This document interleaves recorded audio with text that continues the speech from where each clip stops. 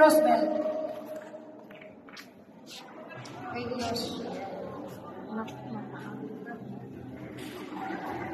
I have another relationship for you. For you, I have many, many more years to come. Happy years. God bless you. Thank you.